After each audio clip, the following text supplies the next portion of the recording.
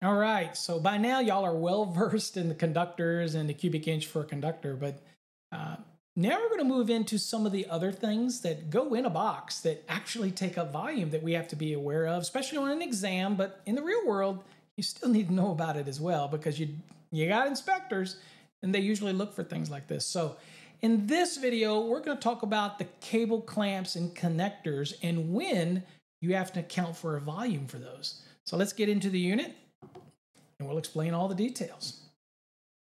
All right, so you should be in 3-2D of your course material.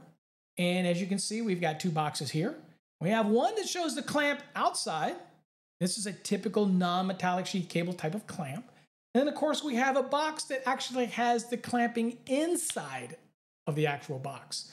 Okay, now these are very common for things like MC cable that go in and it clamps it from the inside. Um, very common in some of these uh, metal boxes for non-metallic sheath cable. It would come in and then the clamps on the inside of the box, not on the outside of the box.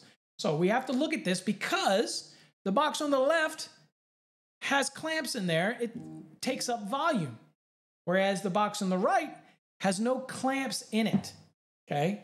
But the clamp is on the outside, but it doesn't take any volume up inside the box. Right. So let's go look at the material here. So Let's look at A. A says external cable connectors are not counted. So A, these on the outside, you don't count them.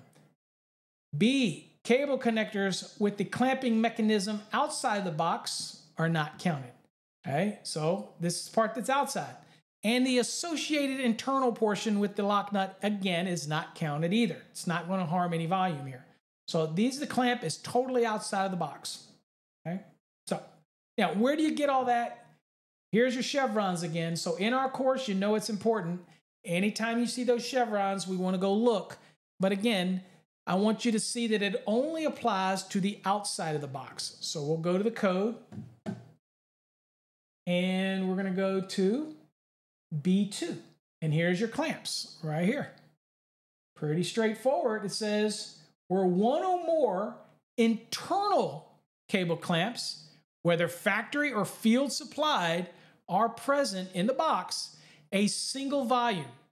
So even if I have multiple clamps in that box, it is one single volume, okay? And it's based on what? It's based on the largest conductor that is in the box, okay? So here it's telling, and where do we get that volume for that largest conductor? Right there again in table 314.16b. I can click that, you can see it. This is the table we saw in previous videos that gives you the volume in cubic inches for conductors from 18 gauge all the way up to 6 gauge. Okay, so that's where we got it. So let's go back here. Okay, so we're back at the clamp here. Uh, it says no allowances shall be required for a cable connector with its clamping mechanism outside of the box. So if we're back at our graphic again, this one outside of the box, no volume count. This one inside of the box. Okay, so next, let's look at C. It says two internal clamps count as one. So remember what we just saw in 314.16b2? It doesn't matter if you have three, four, or five, it's a four gang, three gang, whatever. As far as the internal clamps, they count as one. And when we hear things like one volume count, remember, we're talking about it, it's equivalent to one conductor. But it's going to be, when it comes to the volume, it's the largest conductors that are in the box. Even if that clamp may be only holding a 14 gauge, if there's a 12 gauge in that box and that's the largest, that's the volume count that you're going to use, 2.25 for that clamp rather than 2.00, which is what 14 gauge would be. Okay, use the largest conductor in the box for this. And again, even though I've got two clamps here, it's just one additional volume count for these clamps. All right, D, right here, it says the internal cable clamp, whether it's factory or field supplied, shall be counted as one conductor. We saw that when we read that a minute ago. We went to the code.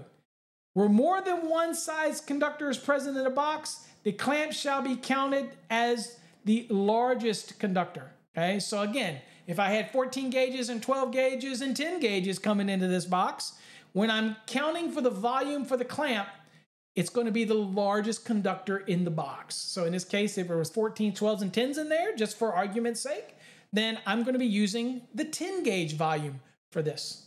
Make sense? That's what you got to keep in mind when you're accounting for the clamps that are inside of a box. Okay. So again, remember one, two, three, four, five clamps internal to a box still count as one conductor or one volume count. All right. And you always want to use the largest conductor that is in the box when you're adding that volume count. Make sense? All right. We're working our way through it. Okay. We, we show you how to do conductors, how they count for their cubic inches. We went and saw that in the table. Now we worked on and we saw how cable clamps take up volume. Let's move on to the next unit. We'll get even deeper into it.